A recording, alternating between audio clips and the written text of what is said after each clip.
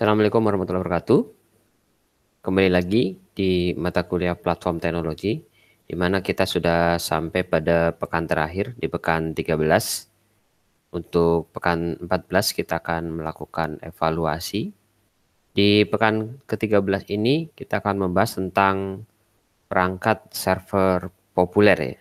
Di mana kalau sebelumnya kita sudah bahas tentang perangkat eh, laptop maupun desktop populer untuk kali ini kita membahas tentang perangkat server populer.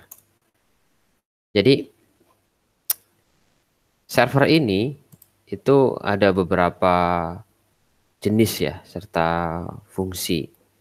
Yang pertama itu ada streaming media server.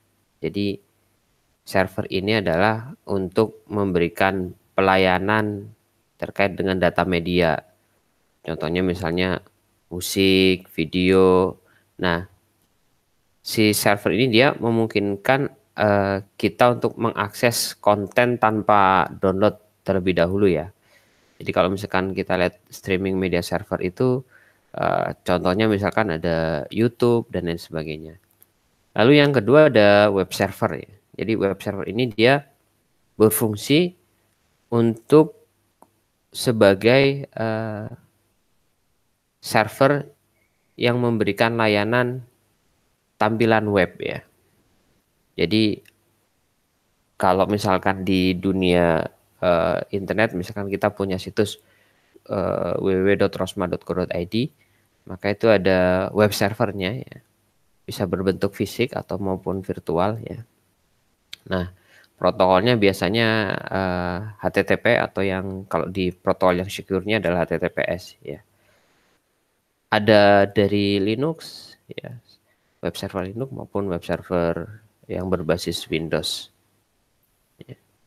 Jadi web server ini tugasnya dia akan merespon request atau permintaan ya, ya terkait dengan konten di internet ya bisa berupa gambar maupun berupa tulisan atau bentuk bentuk-bentuk lainnya ya yang kemudian akan ditampilkan pada browser Berikutnya ada FTP server ya. Nah, untuk FTP server ini atau file transfer protocol ya digunakan sebagai uh, transfer data ya, sifatnya transfer data melalui protokol namanya FTP. Lalu ada file server ya. File server ini uh, adalah server yang berfungsi untuk menampung data yang dimiliki oleh klien ya. Nah, kalau yang file server ya itu biasanya erat kaitan ya. Ada ada kaitan karena dengan FTP server di mana yang jelas membutuhkan uh, penyimpanan ya. Kapasitas kapasitas penyimpanan yang besar.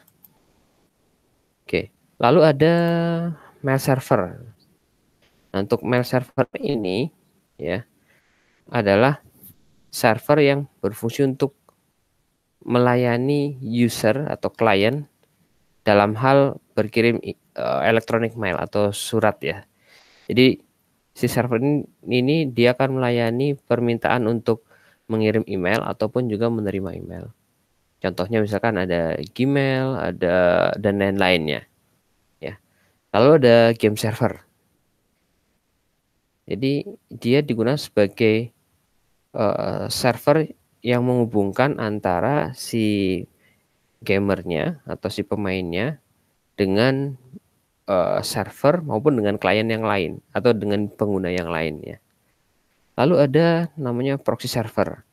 Nah, sebelum ke internet, biasanya ada satu server yang mengatur uh, proteksi, yang mengatur uh, traffic dan lain sebagainya sehingga kemudian bisa akan lebih aman dan bisa dilakukan pembatasan-pembatasan. Lalu ada database server. Ya, ini database server ini dia e, memberikan layanan untuk dalam penyimpanan database. Database server bermacam-macam aplikasinya bisa menggunakan SQL Server atau MySQL dan lain sebagainya. Oke. Secara platformnya ya secara bentuk fisiknya sebetulnya server itu ada dua mountain rack server dan black server Kalau untuk uh, Mountain Rack server umumnya ini biasanya satu rack ya itu berisi uh, banyak server, bisa banyak server. Berbeda nanti dengan uh, blade server ya. Kalau untuk blade server dia di dalam satu uh, server satu, satu platform satu bentuk fisik di dalamnya bisa banyak server. Ya. Nah, kalau server-server ini dia bentar, biasanya disusun dalam bentuk dua uh, dua U, ada yang satu U, ada tiga U ya. Biasanya kalau satu rak ini ada 42 U ya, 42 U. Satu U-nya itu satu U-nya itu biasanya uh, tiga lubang ini. Anda bisa lihat ya di sini ada pembatas ya, ada garis ya. Garis ini berisi tiga lubang, satu, dua, tiga. Ini, ini namanya satu U. Kalau kita melihat server yang saya tunjuk ini, ya, ini adalah satu U. Dua kali lipatnya ini, ini adalah dua U dan seterusnya. Oke. Namanya adalah rack mount server. Ya. Lalu kita bisa lihat ya, biasa server-server ini disimpan ke dalam sebuah rak ya. Nah, ini adalah contoh-contoh rak yang di yang ada ya. Salah satu makernya, mereknya adalah EPC. Untuk rak-rak di server itu ada bermacam-macam ya, mulai dari open rack sama uh, rak yang tertutup. Nah, tentunya ini juga ada beberapa uh, tipe tipe server dan juga kemudian ruangan servernya mau seperti apa. Ya. Nanti si server-servernya disimpan ke dalam rak.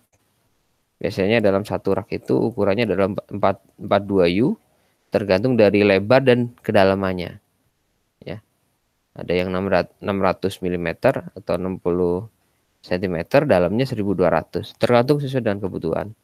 Atau misalkan eh, kebutuhannya adalah di kantor, maka bisa menggunakan series yang seperti ini ya. Jadi dia lebih lebih enak dilihat ya. Biasanya ditaruh di uh, mungkin yang tidak di ruangan khusus ya, misalnya di di kantor yang ternyata pas dilihat oh ternyata itu adalah uh, rack server ya. Karena bentuknya lebih apa ya uh, lebih lebih enak dilihatnya gitu. dalam artian ini seperti furnitur-furnitur yang yang ada di kantor pada umumnya gitu. Lalu uh, sebentar.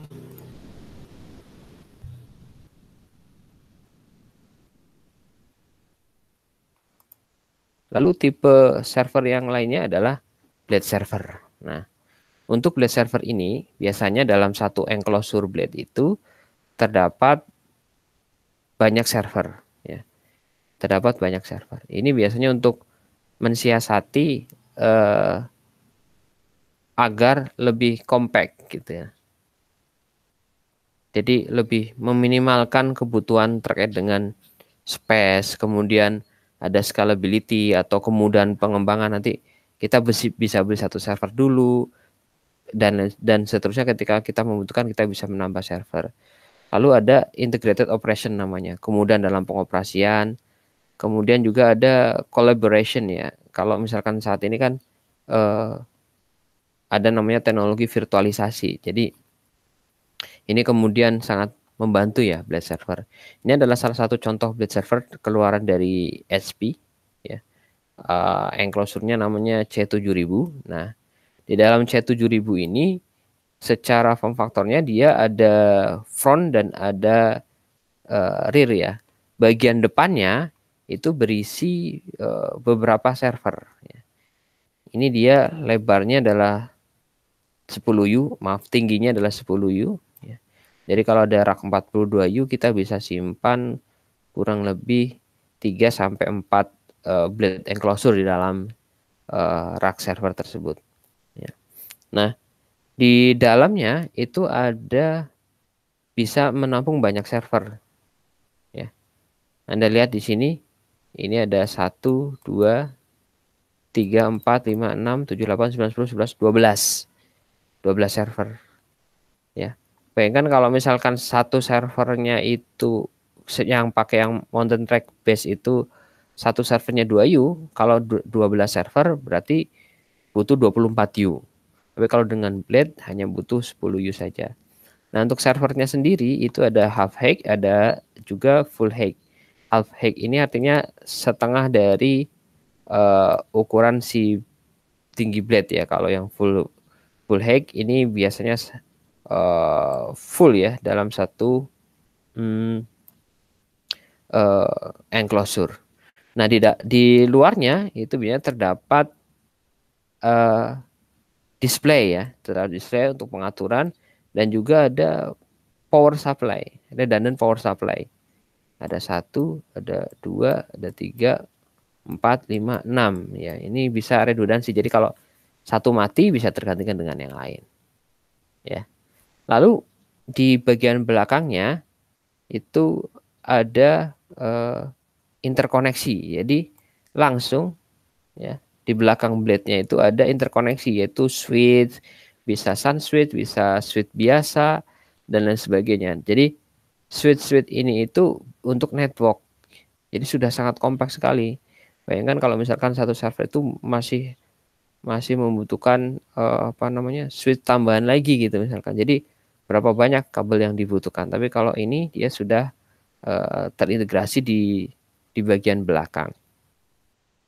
Lalu ada uh, fan ya fan itu untuk kipas ya. Jadi kipasnya juga sudah cukup portable. Jadi kalau ada satu rusak tinggal dicabut saja, kemudian diganti dengan yang lain. Itu namanya redundansi. Nah, ini ada power ya. Kabel power itu tergantung juga dari uh, power supply yang kita miliki gitu. Redundansi juga artinya ketika satu rusak kita bisa menggantinya dengan dengan uh, yang lain tanpa harus mematikan server. Ya. Ya, kurang lebih itu yang bisa saya sampaikan terkait dengan uh, teknologi yang ada di server. Di pertemuan berikutnya kita akan melakukan evaluasi tes dari saya. Saya mohon maaf apabila dalam penyampaian ada kekeliruan. Bila taufik walidayah. Assalamualaikum warahmatullahi wabarakatuh.